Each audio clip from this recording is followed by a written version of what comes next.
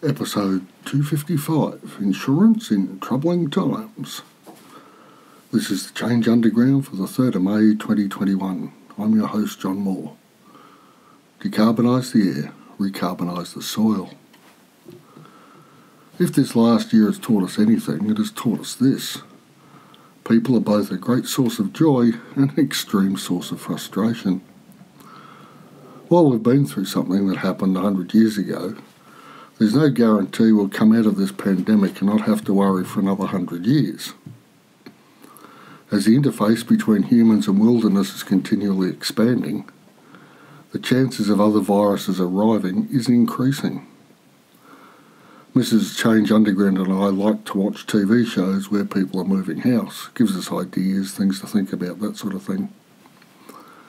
I find my first thought on seeing these properties nowadays is could I do a lockdown there? I was looking at units, flats, apartments, depending on where you live, just prior to the outbreak, but they have been very quickly dropped from my searches. And think about this the virus, while more virulent and deadly than the average flu, is really not that severe in the larger scheme of things. Ebola has a 50% average mortality rate, 90% in some areas, 30 in others. Imagine a virus transmissible prior to symptoms with that death rate, and a truly nightmare situation comes to mind. As with all these things, the wealthy do better. They can afford to isolate, pay off governments to travel, or find loopholes in quarantine arrangements to be in safer places. But what about the rest of us? Many people have been left in the position around the world of breaking curfews to find work and food, or slowly starving to death at home, avoiding infection. And that's not a good place to be. There were many people doing quite nicely, thanks very much, before the pandemic, who want to return to the way things were. Yet those who literally put their lives on the line will be expected to return to their social positions within society think nurses, grocery store workers, delivery drivers, and so on. Of course, the once a week clapping that was initiated in many European countries as a mark of appreciation was indeed a gesture of thanks. But actually bumping up people's wages to reflect the importance of the work they do, and did, not likely. I'm pretty sure I read the English National Health Service nurses are being offered, wait for it, a huge 1% pay increase. There will be trouble ahead socially, and I think we should prepare for it. Now, I am, despite all of this, an optimist. Doesn't hurt, though, to have a little insurance just in case. At the most basic level, we need to eat every day, usually three times, but we can survive on less. Growing at least some of our own food would seem to be a prudent thing to do. Again, taking a worst case scenario, What's foodstuffs provided all the required nutrients and can be jazzed up or down with herbs and spices? Well, the humble potato, when combined with dairy, does this provides every nutritional thing we need. Now, your climate will have a say in this, but growing huge amounts of spuds is not a difficult thing. The problem is disease over time. Think of the Irish famine following the potato blight. Now, of course, that was made worse by grain continuing continuing to be exported to England whilst people starved, in the name of, I might add, free trade. But that's a whole other podcast. We know about the blight. We can take steps to avoid its recurrence. The dairy part is both difficult and dead easy to deal with. The easy part is ultra high temperature milk. Now I know it tastes like crud but in an emergency situation it would suffice. Or if you have the space, a goat, a sheep, or a cow would work. Podcast footnote There is a thing called the potato diet. I, Mrs. Change Underground, one of her sisters, and her brother in law went on said diet a few years ago. Now, if you know me, you know I love spuds.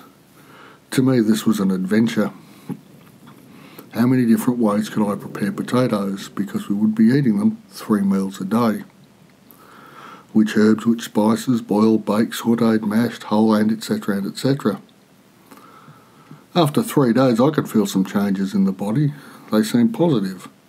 But the others in the experiment were not happy. It seemed they saw the seven day trial as a test to be endured rather than an adventure to be experienced. And so they stopped after those first three days.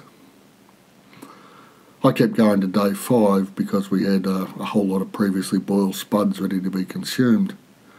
And then on the night of day five, steak was on the menu, so, you know, time to stop.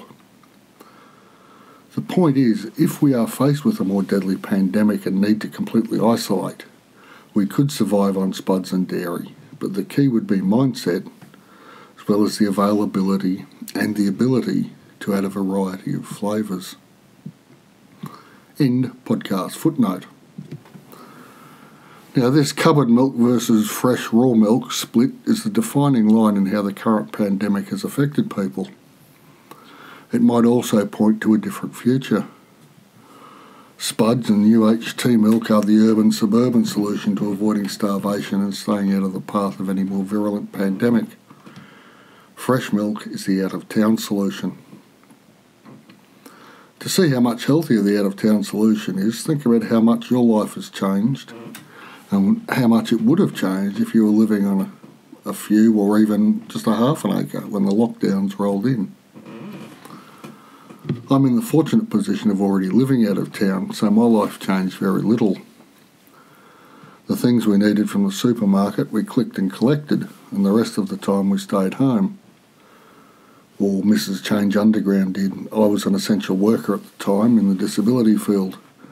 So I still attended work even though the clients weren't there, so I potted around on the gardens on my own. And then I delivered harvest to the residential side of the business, but again didn't have to come into contact with other people. Should the worst happen in the future, I would not like to be living in a unit in an urban setting with a 50% mortality rate or even 10%, supply chains would be severely disrupted. So now is the time to start growing some of your own food. Maybe not the full on spuds and dairy approach, but certainly lots of leafy greens, roots, and fruits would be a fine way to go. I mentioned the spuds and dairy to point out that we can make do with very little variation, not that we should live that way. While the pandemic to, continues to run its course around the world, those of us in the fortunate position of being in safe places at the moment should think about building some insurance now. Quickest and easiest way to buy ourselves a little breathing room is to stockpile dry goods. Not 10,000 rolls of toilet paper, obviously, but some grains, pulses, and so on. And of course, to start gardens. Now, as we get better at the gardening, which we do over time, we can support not just ourselves but those around us.